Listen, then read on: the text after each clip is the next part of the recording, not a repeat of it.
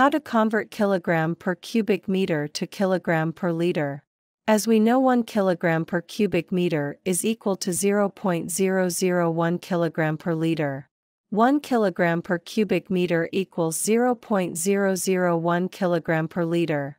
To convert kilogram per cubic meter to kilogram per liter, multiply your kilogram per cubic meter figure by 0.001. Example, convert 25 kilogram per cubic meter to kilogram per liter. 25 kg per cubic meter is equal to 25 times 0.001 kg per liter equals 0.025 kg per liter. To convert kilogram per liter to kilogram per cubic meter, divide your kilogram per liter figure by 0.001. Example, convert 25 kg per liter to kilogram per cubic meter.